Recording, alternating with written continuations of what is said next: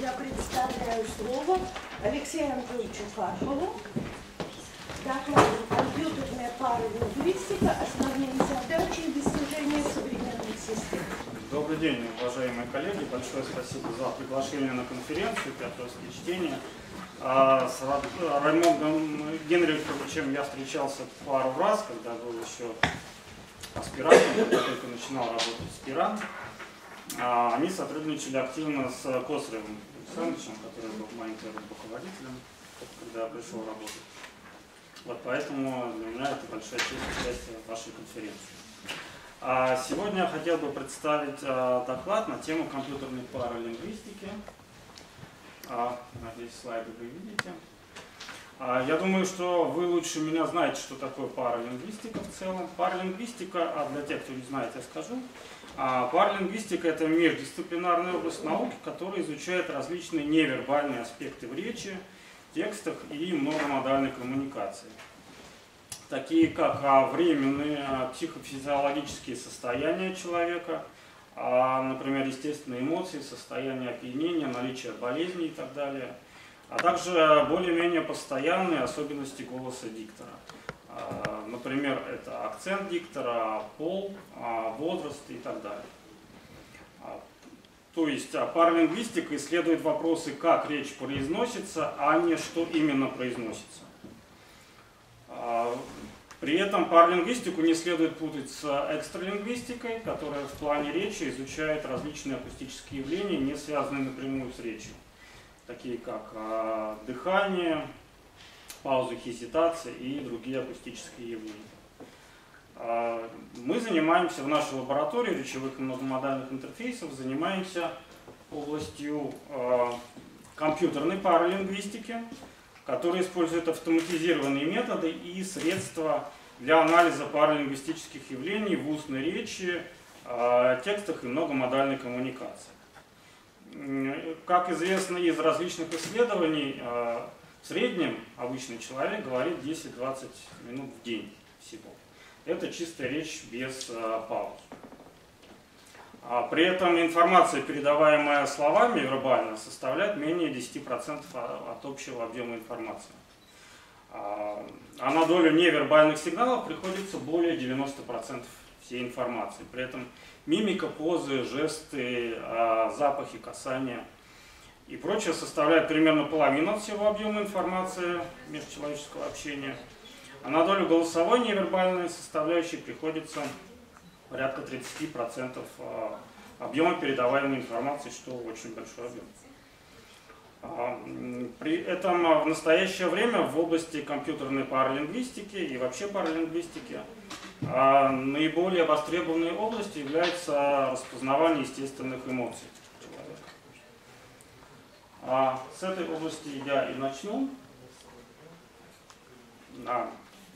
Значит, а, в области автоматического распознавания эмоций есть а, два подхода основных. Первый – это категориальный подход или подход на основе классов, когда выделяется несколько базовых классов эмоций.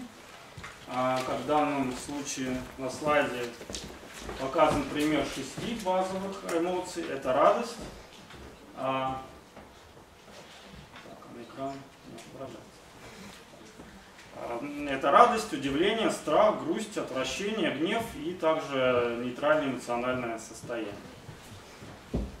А, При помощи речи довольно сложно проиллюстрировать слайды, поэтому я показал а, мимику лица на данном слайде. Это базовые эмоции, есть а, также и расширенная категориальная модель эмоций. Она включает в себя и учитывает интенсивность э, эмоционального состояния, а также различные смешанные эмоции. Это категориальный подход, когда у нас есть четко определенные классы. Второй подход – это регрессионный подход, а, в котором у нас а, есть а, некоторое пространство эмоциональное. Например, данное эмоциональное пространство двухмерное было предложено американским психологом Джеймсом Расселом. А, В нем есть два измерения. Одно измерение – это валентность, это ось X. А валентность эмоций может быть положительная, может быть отрицательная. И есть э, активация психики человека, активация может быть сильная, может быть слабая. Соответственно, вот по оси Y показана активация. А здесь каждое психоэмоциональное состояние человека показано точкой или некоторой окрестностью в данном пространстве. И его само это состояние психоэмоциональное можно измерить при помощи а, двух а, направляющих, двух координат валентности и активации. Существует также и расширенное пространство а, эмоциональное, где к двум измерениям активации валентности добавляется также доминантность. А,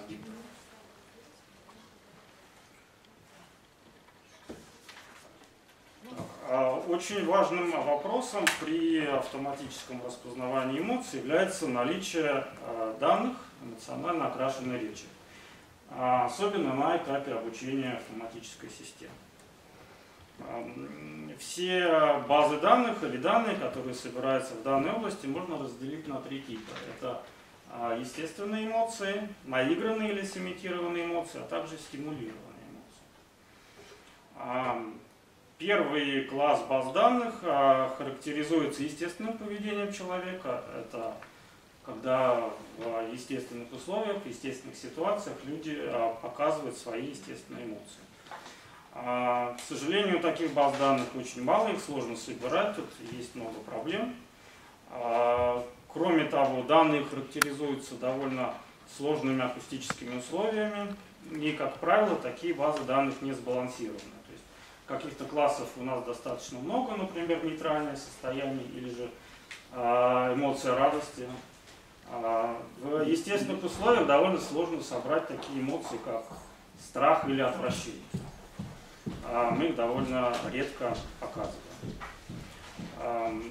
Базы данных имитированных эмоций обычно записываются в идеальных акустических условиях, но а, имеют некоторые тоже недостатки, в частности, это некоторая утрированность таких эмоций, а, хотя иногда возможно использование сценария. Но, как правило, при записи таких баз данных приглашают студентов или приглашают актеров, которых просят,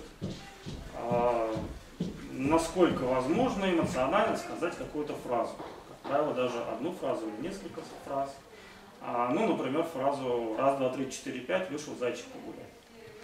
А, нейтрально и радостно ее сказать легко, но как ее сказать, опять же, с отвращением или грустью, ну, это довольно сложная проблема. А, все в данных базах данных зависит от способностей актеров или студентов имитировать эмоции. Ну и третий класс, который является компромиссом между естественными и наигранными эмоциями – это стимулированные эмоции, когда разрабатываются специальные э, ситуации и сценарии, предлагаются двум, как правило, актерам э, сыграть такую ситуацию, они, насколько возможно, э, точно ее играют. Вот. Ну, в данном случае это компромисс между естественностью и хорошими условиями записи. А для русского языка в настоящий момент существует несколько корпусов эмоционально окрашенной речи. А, у нас э, есть два исследовательских корпуса в нашей лаборатории. Первый корпус Руслана, а, который был э, записан э, около 10 лет назад в СПБГУ. В настоящий момент права принадлежат коллегам, работающим в Америке, но эта база данных у нас есть для исследовательских целей. В этой базе данных представлено 6 эмоций, а записан был 61 диктор. А в нем присутствует а, категориальная разметка на уровне всех высказываний, на уровне каждого высказывания из этой базы данных. Всего высказываний более 3000. Вторая база данных – это многомодальная база данных, RAMOS. Она была записана пару лет, пару лет назад в Москве компании Neuro Data Lab. Это профессиональная база данных, приглашались актеры из МХАТа, молодые актеры. Всего были записаны диалоги 10 различных дикторов. Для них предлагались специальные сценарии. В базе данных порядка 600 различных аудиовизуальных а, файлов и диалогов. Разметка также категориальная, сделана не на уровне целиком фраз, а на уровне определенных сегментов некоторой длины, например, 3-4 секунды записи. Но это не все базы данных, которые существуют а, для русского языка. Есть также и другие базы данных, например, база данных REC, Московская Russian Emotional Corpus, и база данных эмоциональной детской речи Emma Child True, которая была создана в СПБГУ Лексова Еленой Евгеньевной. В создании этой базы данных мы принимали некоторое участие. Теперь на данном слайде показана архитектура, общая архитектура системы автоматического распознавания эмоций, которая была нами разработана. Эта система работает в двух основных режимах. Первый режим это режим обучения, верхняя половина. Я думаю, что полный вы не видите экране. И а, нижняя половина системы это режим распознавания эмоций. А, в режиме обучения на вход подаются входные обучающие данные из базы данных происходит процесс э, предобработки, обработки этих данных, обучения вероятностных моделей. И э, затем эти обученные вероятностные модели используются на этапе распознавания эмоций. Распознавания и классификации эмоций. А в этой системе используется расширенный набор акустических признаков, который вычисляется при помощи открытого программного инструментария OpenSmile – он позволяет вычислить а, довольно много признаков из аудиосигнала по различным группам. Это могут быть просадические признаки, фонационные, спектральные и энергетические признаки. А, некоторые признаки представлены здесь на слайде. Всего базовых признаков 65 в этой системе. Но к ним применяются различные функционалы, например, максимальное значение, минимальное значение, дисперсия и так далее. А, в итоге для каждого аудиофайла при помощи этого тулкита мы можем посчитать порядка 6,5 тысяч различных аудиопризнаков. Это огромное пространство аудиопризнаков. Естественно, оно будет избыточно. Поэтому для такого пространства применяются различные методы сжатия этого векторного пространства. А, например, метод главный компонент и некоторые другие а, машинные методы. В итоге мы получаем пространство признаков а, размерностью 200-300 различных признаков. Вот из 6000 начальных. То есть это будут информативные признаки, предназначенные для обработки именно этих данных из конкретной базы данных. Теперь мы проводили эксперименты по автоматическому распознаванию эмоций в речи на различных языках, а, используя различные базы данных. Здесь слева а, в левой колонке показаны базы данных, которые мы используем и которые мы имеем для исследований. Тут а, база данных русской речи, английской, немецкой, французской, турецкой, китайской и так далее. А, в результате наших экспериментальных исследований мы получили точность автоматического распознавания категории эмоций диктора от 60% до 85% для 5-7 различных базовых а, психоэмоциональных состояний диктора. Причем а, мы проводили также межкорпусные исследования и межязыковые исследования, которые показали незначительное ухудшение точности распознавания эмоций диктора.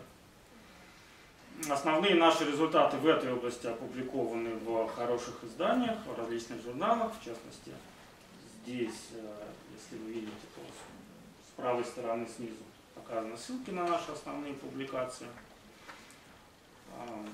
Так, и теперь э, вторая часть моего доклада будет посвящена не эмоциям, а более широкой области паралингвистики. И я расскажу про международные соревнования по компьютерной паралингвистике, которые проводятся ежегодно в рамках а, международной конференции Интерспич, а, про которую упомянул Андрей Леонидович. Это огромная конференция, которая собирает больше двух тысяч участников каждый год. А, Данные соревнования по компьютерной паралингвистике, Computational Paralinguistics э, Challenge, впервые проходили в 2009 году, в общем-то 10 лет назад. А Эти соревнования ежегодно проводит э, Международная ассоциация СК, которая организует конференцию Интерспич. Также поддержаны Европейской ассоциацией м, по анализу эмоций а, и немецкой инновационной компанией Audire. Основателями и основными организаторами соревнований являются два профессора из Германии, Бьорн Шулер и Антон Батлер, которые очень широко известны в области речевых технологий. И кратко я пробегусь по тем соревнованиям, которые были за последние годы, но вообще за всю историю этих соревнований. Первые проходили в Великобритании в 2009 году, были посвящены анализу эмоций а, в речи по двум направлениям. Первое направление – это автоматическая классификация эмоций в речи взрослых людей, а второе а, был конкурс открытых проектов по автоматическому паралингвистическому анализу речи. А, Здесь эти направления перечислены и в скобочках указано, кто победил в каждом конкретном кон- э, конкурсе. А Статьи победителей можно найти в трудах э, конференции Интерспич, они все в свободном доступе. А В 2010 году э, соревнования проходили по другим направлениям паралингвистики. А, Первое направление распознавание возраста диктора по его речи, второе распознавание пола диктора по речи, и третье распознавание состояния аффекта, опять же, в речи. Точно так же победители соревнований указаны в скобочках, я их а, зачитывать не буду. А, Третьи соревнования проходили по двум направлениям. А, Распознавание состояния опьянения человека по речи и распознавание состояния сонливости человека. Я должен еще здесь сказать, изначально не сказал, что все базы данных, все данные предоставляются организаторами конкретного соревнования. Они покупают эти базы данных, они собирают эти базы данных и дальше а, в открытом доступе предлагают участникам соревнований, кто угодно может в них участвовать. То есть свои данные здесь собирать не нужно. Если у вас есть свои данные, вы их можете использовать. Это разрешено. Но данные обучающие, данные тестовые, они предоставляются организаторам. А, Так, а, 2012 году были такие направления, как а, распознавание индивидуальности диктора, анализ привлекательности голоса по акустическим признакам, распознавание патологии голосового тракта. В 2013 году направлениями были анализ акустических социальных сигналов, а, распознавание эмоционального состояния диктора снова, это наиболее популярная область паралингвистики, а также предсказание наличия аутизма. А, У диктора ди- диагноз а, заболевания были предоставлены медицинские данные. Также распознавание конфликта между дикторами. Затем в 2014 году было два направления. Определение наличия умственной нагрузки у диктора и определение оказания физической нагрузки на диктора при говорении. А в 2015 году первый раз мы участвовали в этих соревнованиях при Интерспич и участвовали неплохо. А, Интерспич был в Дрездене в Германии. Были три э, конкурса. Первый это распознавание дикторов, которые говорят на родном или не родном для них языке. А Победителями была команда из США. А Второе направление предсказания болезни Паркинсона по речи. Тоже медицинские данные были предоставлены. Здесь победила совместная венгерская и немецкая команда, и мы выиграли третий а, конкурс, который был посвящен а, довольно необычной теме. Это автоматическое определение, есть ли человек во время говорения и классификация вида пищи, которую он принимает во время говорения.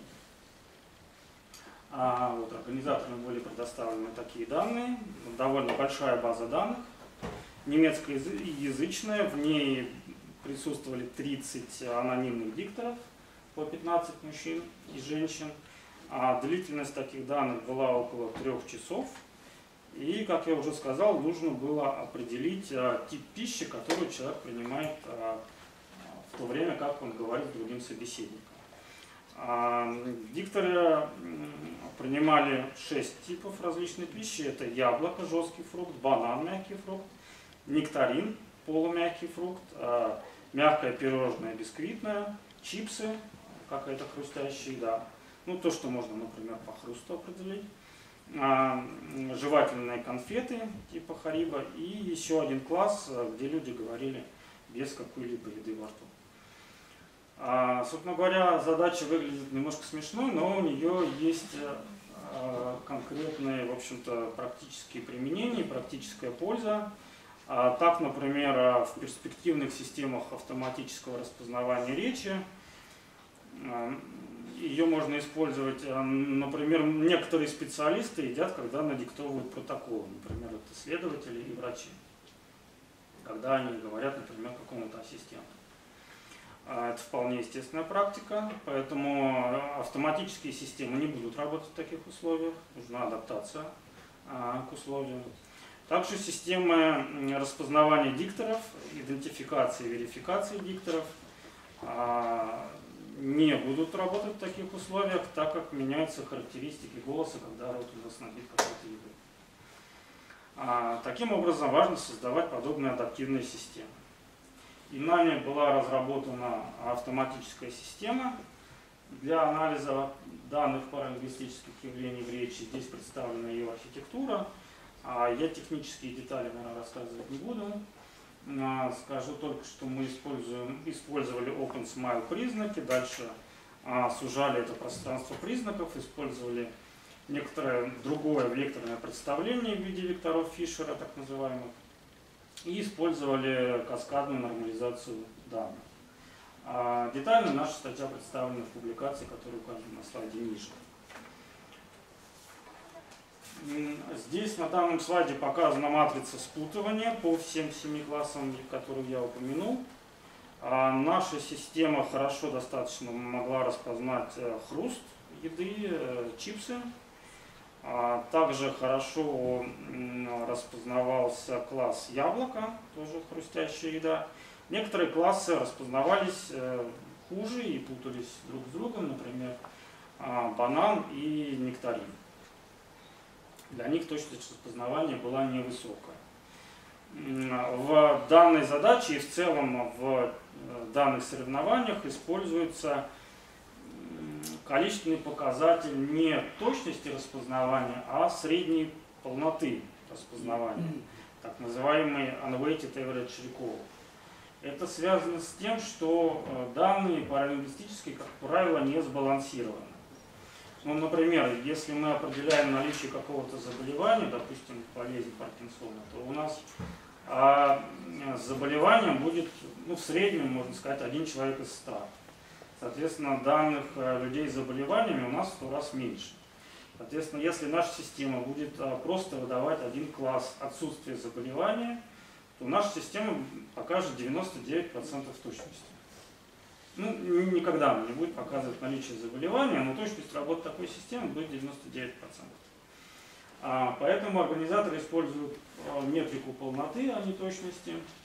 В данном случае а, независимо считается полнота для одного класса и для другого класса, например, наличие заболевания или отсутствие заболевания. И, соответственно, если наша система предсказывает все время один и тот же класс, то а, средняя полнота работы такой системы всего 50%. То есть это ни о чем. А вот, по этому показателю для данной задачи наша система показала результат 83%, что довольно а, хороший показатель. Это вот а, один из а, примеров а, компьютерных паралингвистических систем.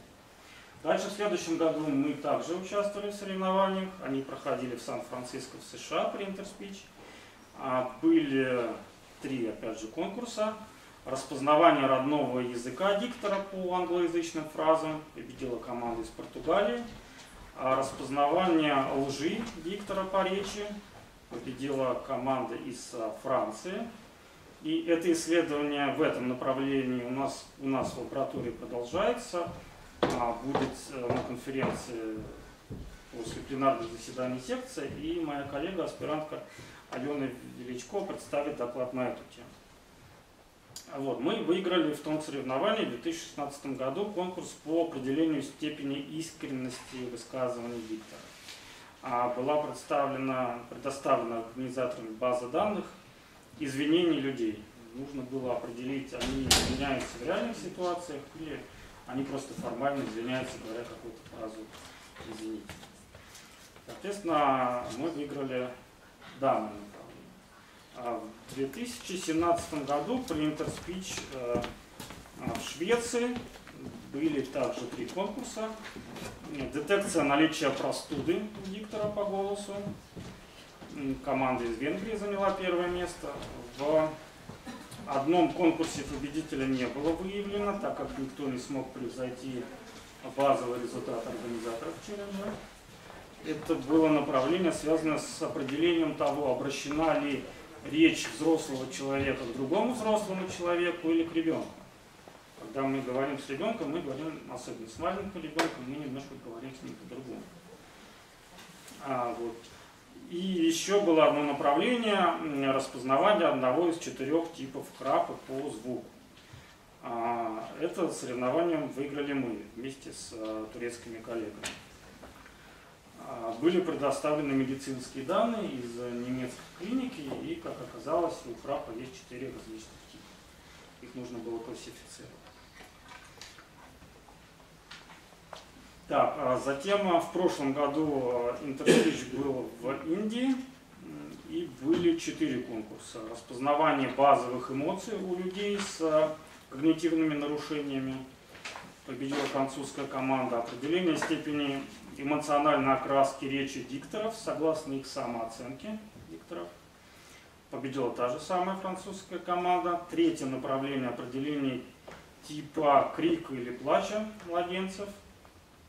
Победила венгерская команда. И в последнем конкурсе победителя не было выявлено. Он был по направлению определения темпа биения сердца. А при этом мы также участвовали в том соревновании, заняли второе место в последнем конкурсе. Но наш результат оказался несколько хуже, чем результаты организаторов соревнований. А, наконец, совсем недавно, в этом году, а, конференция была в Австрии, в Граце, и были четыре конкурса. Это распознавание звуков и вокализация маленьких детей – второй конкурс распознавания одного из четырех австрийских диалектов. А, по речи у носителя это был регион Штирия, и у них есть четыре диалекта. База данных была предоставлена для них. Оба конкурса выиграла команда из Тайваня, из организации NVIDIA. Далее, третий конкурс определения степени сонливости диктора по голосу. Победила венгерская команда. И последний конкурс, который, в общем-то, напрямую к паралингвистике не относится, а, но база данных а, большого объема была предоставлена. Нужно было распознать вид дельфина по его звукам. Там а, касатка, белуха и еще несколько видов. При этом мы заняли второе место в конкурсе Baby Sounds и четвертое место в конкурсе распознавания австрийских диалектов. А, далее, в общем-то, предпоследний мой слайд. А, совсем недавно, в конце октября, также была другая конференция. ACM Multimedia, это тоже топовая конференция, огромного масштаба конференция, связанная с обработкой аудио и видеосигналов и мультимедийной информации. При ней также проводился челлендж соревнования, связанные с аудиовизуальным распознаванием эмоций. И были три конкурса. А, многоязычное распознавание эмоций по речи и выражениям лица человека были предоставлены многомодальные данные китайской, немецкой и венгерской речи. Победила китайская команда определение степени депрессии человека по его аудио, видео и э, текстовым данным. Победила индийская команда. И третий конкурс определения настроения человека после разговора с э, другим человеком. а, победила совместно китайская и бельгийская команда. Мы участвовали, статья наша опубликована и заняли третье призовое место в первом из конкурсов. А, вот, ну, собственно говоря, а в заключении кратко скажу, что были представлены только основные актуальные задачи в области компьютерной паралингвистики. А В моем докладе акцент был сделан на свежих а, раз- разработках результатах нашей лаборатории речевых многомодальных интерфейсов Спиран. Ну необходимо упомянуть, что а, по данному направлению мы ведем проект, поддержанный Российским научным фондом, в котором я являюсь руководителем. И, наконец, последний теперь слайд, он уже просто красивый. А В следующем году мы проводим конференцию по речевым технологиям, конференция «Речь и компьютер». А будет проходить уже 22-я международная конференция а, в Петербурге в октябре 2020 года. А, 10 лет она не проводилась в России. Мы решили вернуть ее. Когда-то первую конференцию проводили Косарев и Петровский. Она проходила, по-моему, в ваших стенах здесь. Да. А, Пленарная точно была здесь. Пленарная она была здесь. А вот последние годы она неизменно была за границей. В этом году была Турция, до этого Германия, Англия и так далее. Ну, мы решили вернуть ее на родину. Поэтому я хочу вас пригласить на конференцию. Спасибо, Алексей. Анатольевич.